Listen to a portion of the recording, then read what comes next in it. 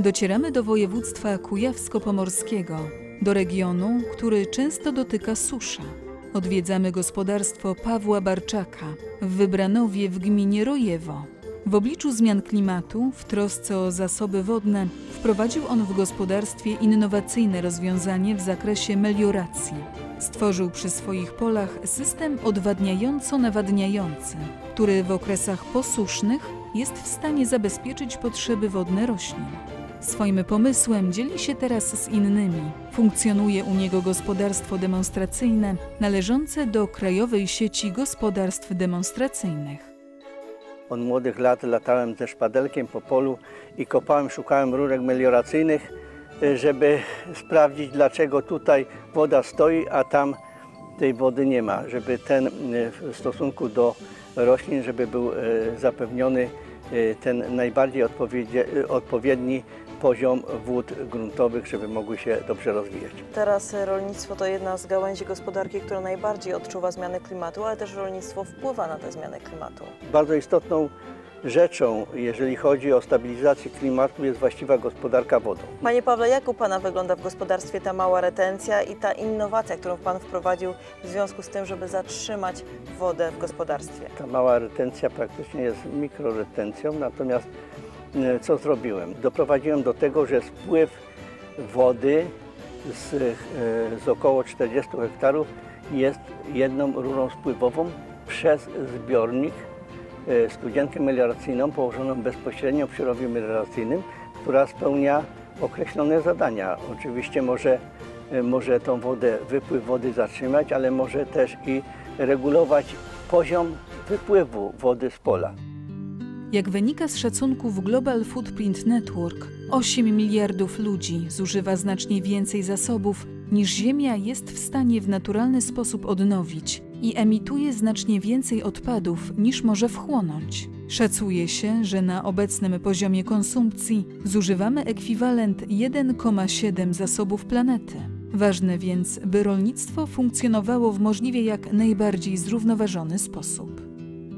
Skąd decyzja, żeby w sadach wprowadzić ekologię?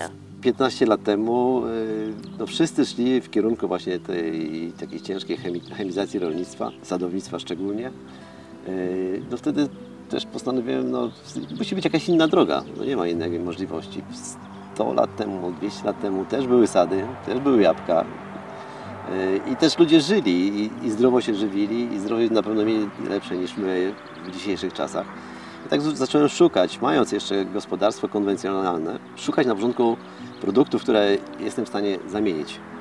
Produktów organicznych, biologicznych, tak żeby powymieniać te, te chemiczne preparaty. W 2007 roku zacząłem certyfikację. No i tak zostało do dzisiaj. Probiotechnologia nie jest tutaj Panu obca. Nie, to jest mój początek ekologii właśnie. Zaczął się od probiotyków. Przede wszystkim właśnie no, w sadzie zaczęliśmy stosować i doglebowo, i dolistnie. Widziałem działania, widziałem bardzo wiele pozytywnych, żadnych skutków ubocznych, to jest bardzo ważne. I do dzisiaj cały czas stosujemy. A czy są u Pana w sadzie domki dla murarek? Jak najbardziej. Domki dla murarek, ule można powiedzieć, murarek mamy od 4 lat. Yy, W tej chwili praktycznie one żyją swoim życiem. Jak najbardziej yy, cała ta makrofauna yy, no, no, też jest konieczna. To, to, to jest konkurencja, konkurencja w środowisku między dla nas, naszymi szkodnikami, które nam szkodzą w sadzie, a właśnie tą pożyteczną makroflorą, czyli osiec jest takim sprzymierzeńcem. Całe nasze gospodarstwo wokół podwórko jest obsadzone też e, trawami wysokimi. Wzrasta popyt na żywność spowodowany wzrostem liczby ludności. Jednocześnie wzrasta marnotrawstwo produktów nadających się do spożycia. Towarzyszy tym problemom nadmierne wykorzystanie wyczerpywalnych zasobów naturalnych, ograniczanie powierzchni terenów uprawnych, zanieczyszczenie i degradacja środowiska. Żywność jest e, podstawowym produktem, który potrzebujemy do życia.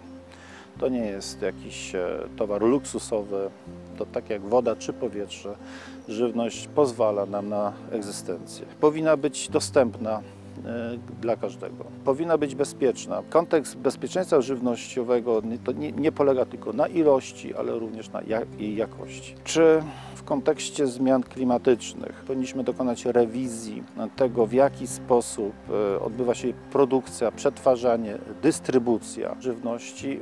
Oczywiście tak. My już przecież dziś widzimy, że zmiany klimatyczne nie są żadną fikcją. One bez względu na to, co jest ich przyczyną, dotyczą przede wszystkim właśnie sektora rolniczego. Woda, która jest podstawowym źródłem dzisiaj i problemem, deficytowym problemem e, w rolnictwie, to zasób ograniczony. Woda słodka e, winna być zatem chroniona, zarówno ta powierzchniowa, jak i głębinowa, w szczególny sposób, jako źródło wody pitnej do y, żywności, pamiętajmy, należy również woda, nie tylko produkty pochodzące z połu. Walka z głodem na świecie jest jednym z 17 celów rozwoju trwałego i zrównoważonego. Zmiana systemu rolniczego i systemu żywnościowego może pozwolić na wyżywienie wciąż zwiększającej się populacji.